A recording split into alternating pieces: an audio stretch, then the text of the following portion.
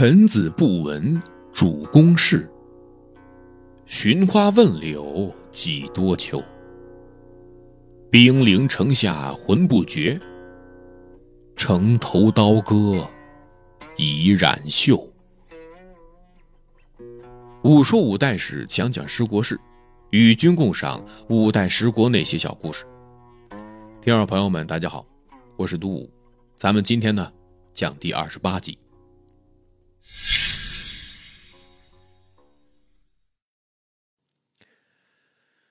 上一回我们说到啊。历经千辛万苦，大王八王建选定了下一任小王八王衍，顺便把一个战场上随便倒戈、毫无节操的定时炸弹王宗弼扶为托孤大臣。但不得不说，王八一家皇位继承前后十一兄弟里只死两人，在五代十国已经算是十分和平罕见了。王衍也十分尊敬他的哥哥和一大帮养兄，然而对王衍能表扬的事儿，也就仅仅这一点了。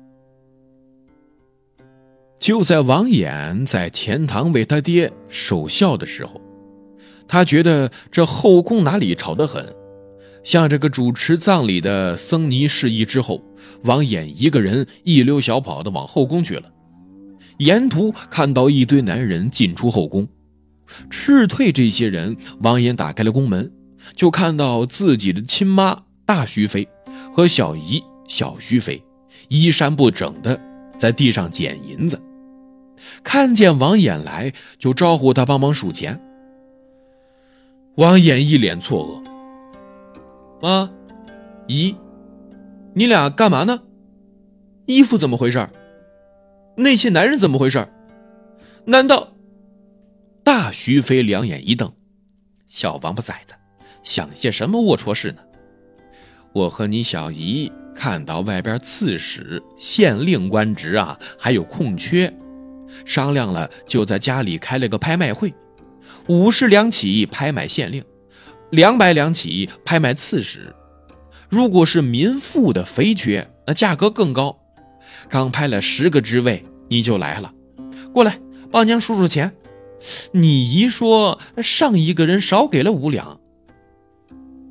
这听闻自己的母亲和小姨公然卖官鬻爵，王衍义愤填膺，拍案而起：“妈，姨，你们怎么能这么做呢？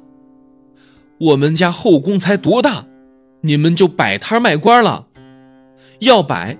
下个月，给你俩建一个大的拍卖场，看着气派一点。再请个司仪、会计和主持人，啊，也不用你们俩算钱。大小徐飞一块竖起拇指，哎呦，还是我儿想的周到。于是呢，王衍当皇帝没一年，蜀国行宫的规模扩大了一倍。成为了五代十国中规模最大的，而与此同时，在大小徐飞的唆使下，前蜀的卖官拍卖场也许是世界上最早的连锁卖场，在各州县驿站旅馆也设有分支卖场机构。州县卖小官，成都卖大官，靠花钱买到官位的人，何来治国的本事呢？反过来呀，只能是继续剥削下边的民众了。有了卖官得到的钱呢，这王衍就开始注重打扮了，而且要做时尚的弄潮。这蜀国人呐，原本多戴小帽子，王衍觉得很难看，他上街呢，就带着自己用那个浆糊啊。糊表的一个手工大帽子，于是，在街上这么一站呢，那就是鹤立鸡群了，远远的就能认出他。而且，随行的宫女儿啊，多穿道袍，发髻放下来，还涂着厚厚的腮红，称为醉妆。久而久之，整个蜀国的人，男的都戴起了大帽子，女的都化起了醉妆。这也是世界上第一起民间自发的服饰流行。《全唐诗》收录了两首王衍自制的诗曲儿，一个《醉妆词》，一个《甘州曲》，描述的都是王衍自己倡导的流行文化。但历史记录，王衍总共作诗两百多首，独留这两首完整的，其余的都是散佚或者缺失。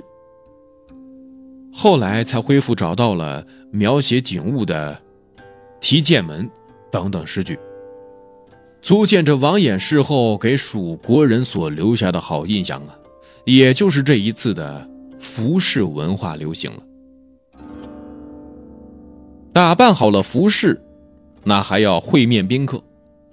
成都蜀国的国宴厅也是别开生面的，蜀国特产绫罗绸缎。直接在地上堆积成假山，在奢华的假山旁边立一个小亭子，摆好厨具。于是，与宴者全程边吃边观赏厨师技艺。这也怕是世界最早的开放式厨房了。你看这王爷，最早连锁卖场，最早流行元素。最早开放厨房，这一举拿下这么多殊荣。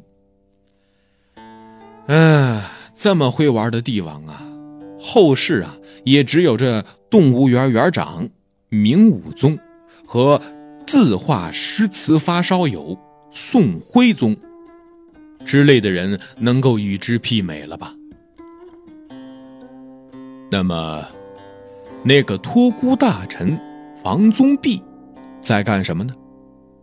王衍忙着游乐，这人就全权的接了政事，拿着大印和毛笔，一路在各类诏书上署名同意，顺便吃回扣、收贿赂。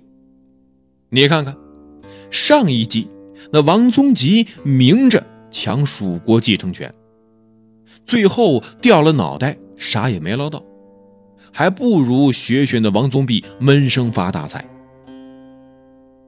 王宗弼贪腐，上梁不正啊，这下梁就得歪。朝中再无多少直言进谏的忠臣，反倒是宫中多了一种新的官职。官职叫什么呀？叫侠客。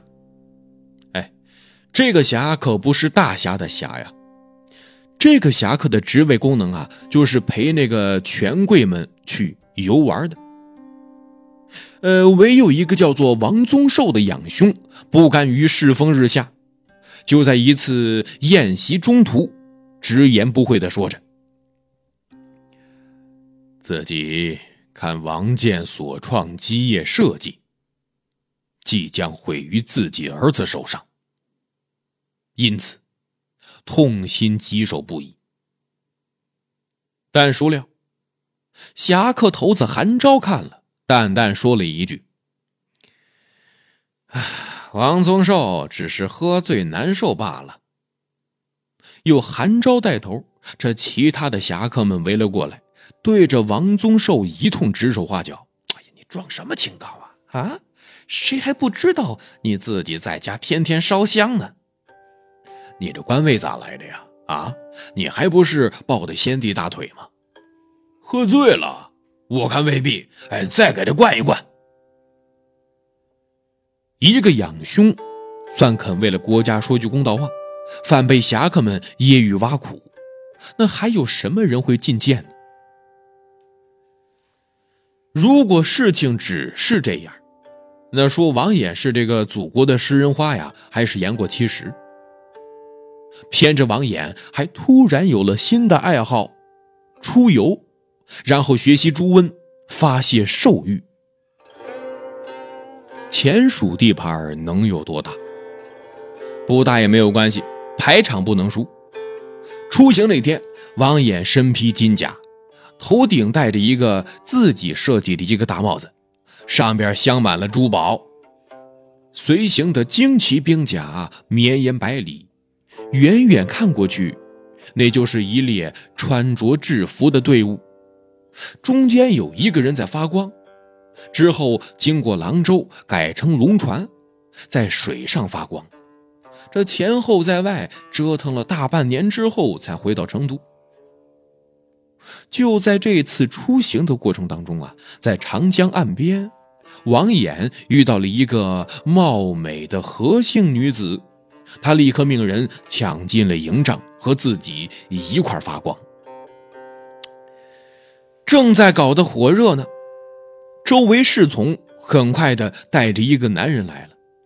原来这女子已经许配了人家，这王衍瞬间不高兴了。被皇帝戴了绿色的帽子，你应该庆幸才是的呀！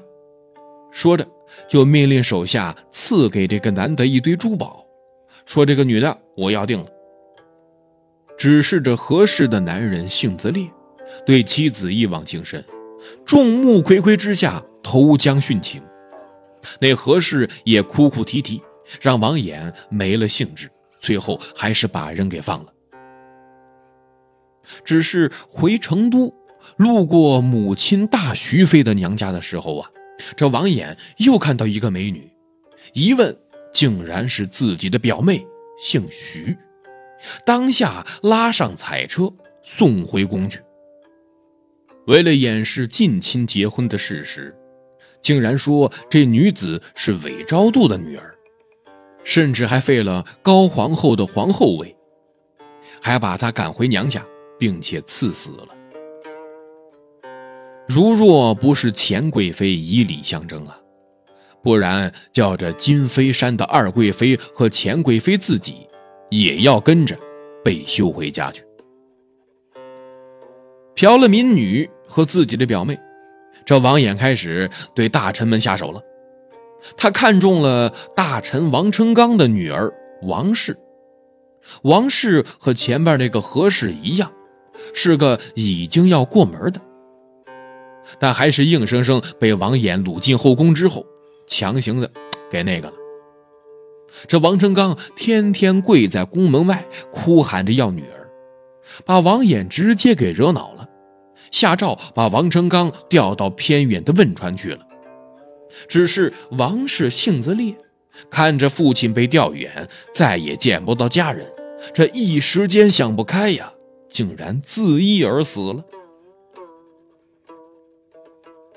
偏偏这王衍呐，这个时候还是恬不知耻的，建了一个王氏祖祠上清宫。塑了王氏先祖王子晋的像，接着把爸爸王建和自己的全身像也塑了一个，放到王子晋身后，接受王氏家族的万世祭拜。就在王衍干了这等荒唐事情的时候啊，这中原已经是风云突变了，汴梁城上后梁旗帜陨落。洛阳城头飘起了后唐的大旗。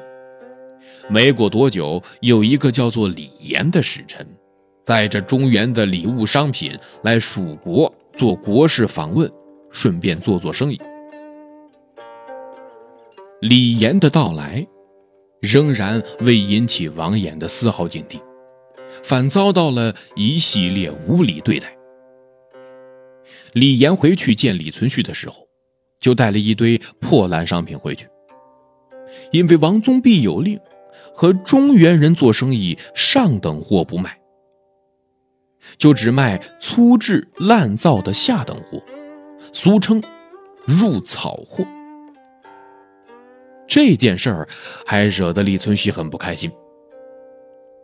蜀国就卖咱下等货，你这王衍是不是下等货？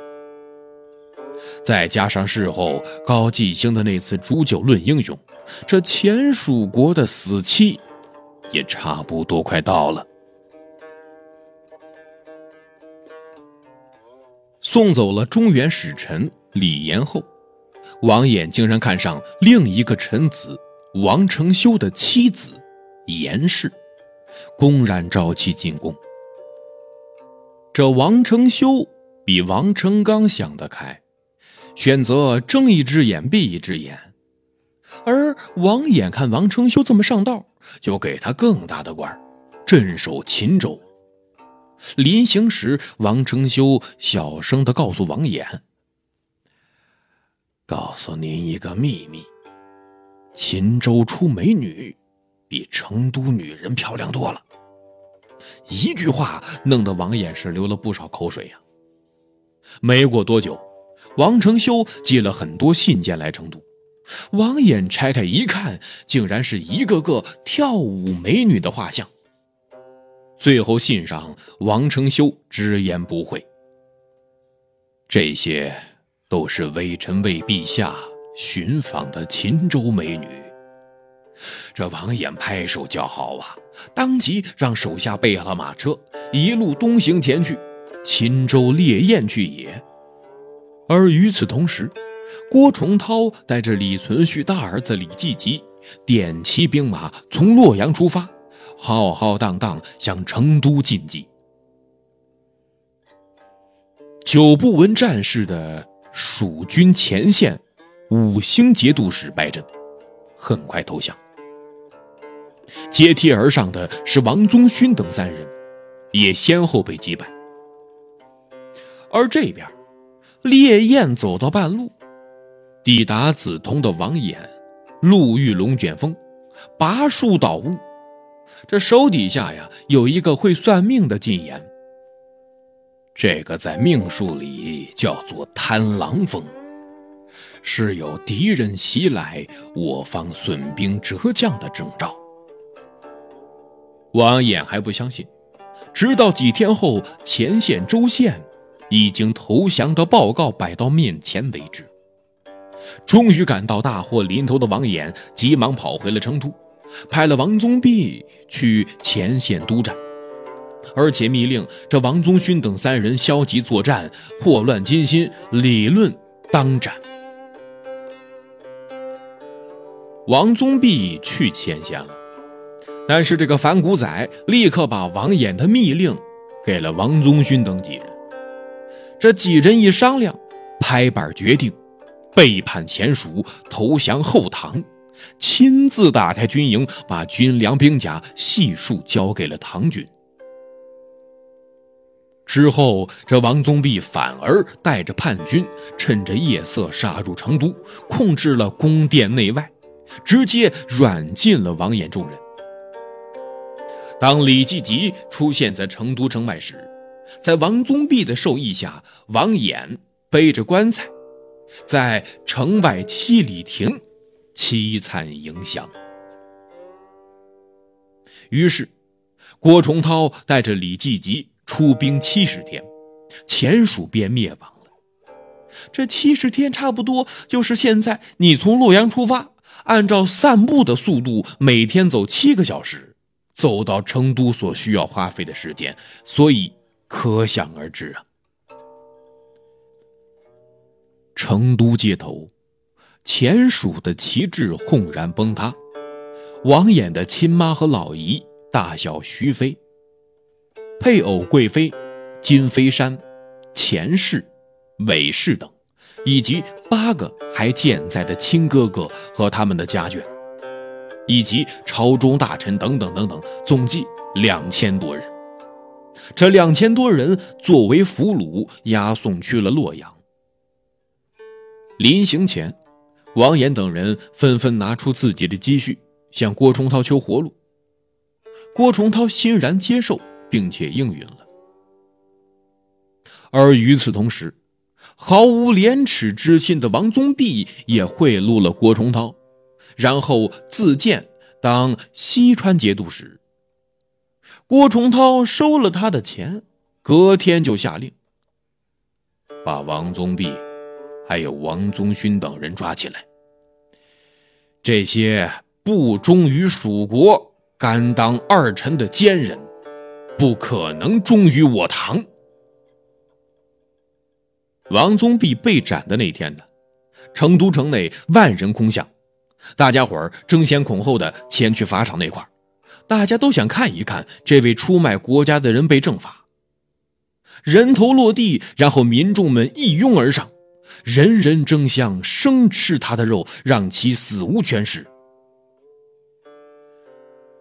话说另外一头，被收押在洛阳秦川驿站的王衍，怎么也不会想到，更大的悲剧还是降临了。邺都兵变，李嗣源莫名其妙的就坐实了叛变，挥戈南下攻击汴梁。忧心忡忡的李存勖准备带人御驾亲征，偏有一个叫做景进的一个。戏子官员，也就是灵官，他说：“呃，这前蜀王室，还有他们的大臣，还收押在呃秦川驿站那儿呢。您这一离开，保不准他们不作乱呢。”心急火燎的李存勖同意了景进的建议，下了一份处决王衍一行人的命令诏书。太监向延嗣。带着诛杀两千人的诏令，来到秦川驿，向众人宣读了诏书的全部内容。特此决定，处决王衍义。说到这儿，他看了一眼跪在地上的众人，咽了一口口水。处决王衍一家，钦此。一行和一家仅仅一字之差，两千多人都得以赦免，只有王衍一家二十多口人送上断头台。王衍和他的八个哥哥一路哭泣。在王衍当初继位的时候啊，他们全部都保全了，自以为最终能够善终。但结果还是躲得了初一，没躲开十五呀！到头还是遭了断头之祸。就听到那大徐飞临行前大声叫喊着：“我儿子以异国投降，反遭杀戮，你们出尔反尔！郭崇韬在哪儿？李存勖在哪儿？完全没有信义！你们这样是要遭到报应的！”报应。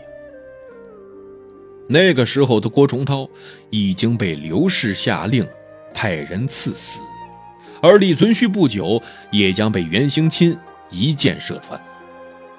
这两人都自保不暇了，还有谁来听这个老妇人临终高呼呢？徒劳罢了。众人嚎啕声当中啊，只有一个不受王延宠的小妾不作言语。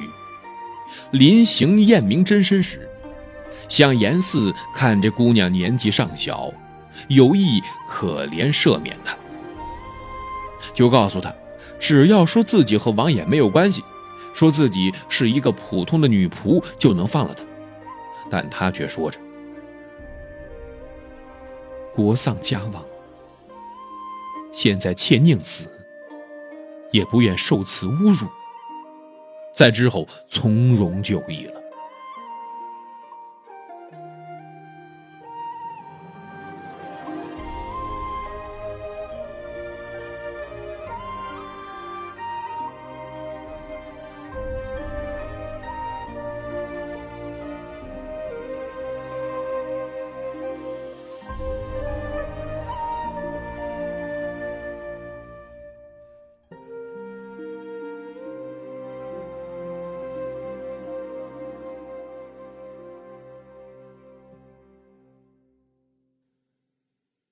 在之后，李嗣源当了后唐明宗，登基继位。这一天，突然传令官报，有一个跛脚老人求见。李嗣源召其进来，问来者是谁。那老者跪在地上，声泪俱下：“臣，臣乃前蜀罪臣。”魏帝王建的甲子王宗寿，王衍一家当初被官军押回洛阳，臣罪臣当初还还妄自抵抗官军，最终被俘，但被郭崇韬特赦了，让我留在蜀地，做个顺民，了此一生。我想想王衍一家押来洛阳，以后没人照顾，又私自自废。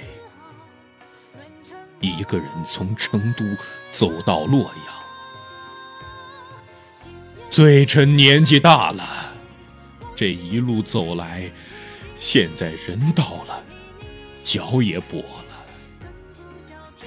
然后罪臣，罪臣到了之后，本欲好好陪伴他们，但是，但是罪臣现在才得知，王衍一家已被夷族。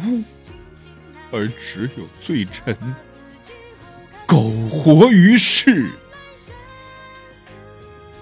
罪臣作为王建的家子，竟不敢以死谢罪，也不能陪养父后人最后一程，实乃不忠不孝不义。虽然万死，也对不起养父当初收养之恩，所以。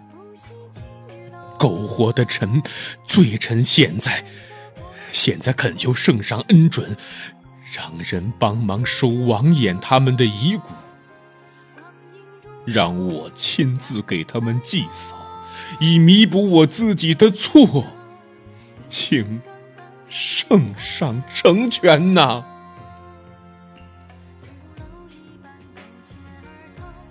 说罢之后。王宗寿已经泣不成声，久久跪地磕头不止。李嗣源闻言，看着地上骨瘦嶙峋的王宗寿，也许是突然想起，想起了因为自己全族尽灭的朱邪赤心一族，特别是迄今不知李存勖骨灰散在兴教门废墟的何处？也当庭跟着抹起眼泪，当即。李嗣源赶紧走下台阶，扶起那跪地磕头的王宗寿，让人赐了座，答应了他的请求。之后安排了人收敛厚葬了王衍一家的尸骨，以诸侯之礼安排了墓葬，然后给王宗寿安排了个在洛阳的闲职，清明时可顺便祭扫王氏一族。可叹王建足足一百二十个养子，到头来贪欲的砍掉了脑袋，享福的折了寿命，自保的离蜀而去，无耻的遭人分尸，最终这百二十人，到头也只有王宗寿一人。肯在王衍荒唐的时候直言劝谏，并在王家全家尽灭之后，为王衍善后，自己也得以陪伴。不是亲人胜似亲人的家人，而最终含笑善终离世了。这正是前蜀忠臣依旧在，只是最后。剩一人，早知衰亡有定数，何必群起作弄臣？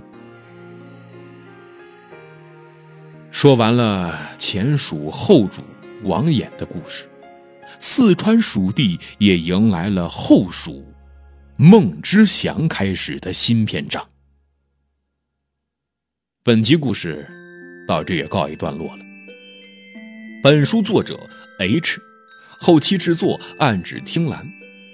如果您有好的建议或者是意见的话，也可以添加小五的私人微信“哑巴无言”四个字的字母全拼。我们下集再见。